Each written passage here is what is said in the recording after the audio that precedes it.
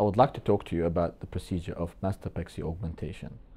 Mastopexy is commonly known as breast uplift, and augmentation is obviously enlargement of the breast. The procedure itself could be carried out either as a uplift, i.e. mastopexy without an implant, or to add an implant.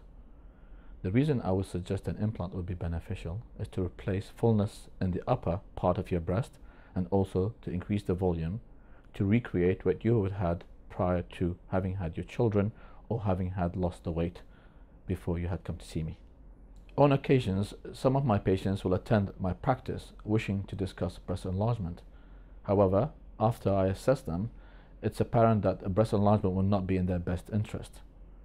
The reasons for that is the breast lie too low on the chest wall, the patient could have lost weight or had children in the past, and the nipple position is too low. An implant will not lift your breast, neither would it lift the nipple position. In addition, they will benefit from not just tightening of the breast envelope and reducing the skin, but also filling it with an implant. In my private practice, I have an open door policy. I'm accessible at all times. If you have any needs for you to contact me at any stage prior to your procedure or following your surgery, uh, please do, as I'm always available for your care.